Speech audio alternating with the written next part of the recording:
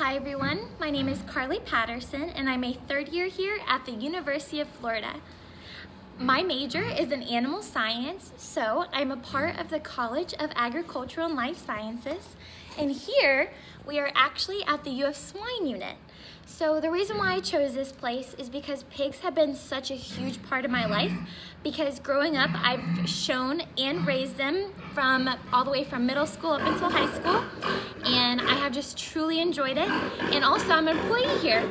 So I've been working here from September of 2018 up until now and I have truly and can honestly say that I've loved it.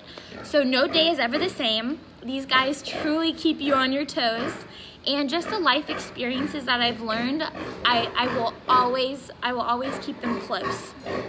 So rolling right into that, I have actually served on the UF Livestock Judging Team of 2018, and I was blessed enough to have two amazing coaches, Kyle Mendez and Clay Rowland, and myself as well as four other amazing girls served the University of Florida on a national level by traveling all across the country to attend contests and visit different operations of different types of livestock as the four species that we judge is cattle, pigs, sheep, and goats.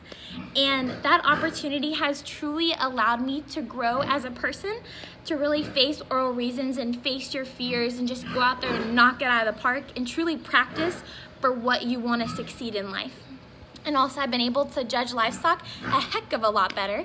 And I've actually been blessed with the opportunity to judge shows, which is always something that I've wanted to do. And then also I am currently serving on the UF Animal Meat Evaluation team with our coach being Chad Carr. And I, in this one here, you're more looking at carcass merit and actually looking at the live animal and stuff like that. And I've just learned so much through that. And I can't wait to see where you takes us. Thank you.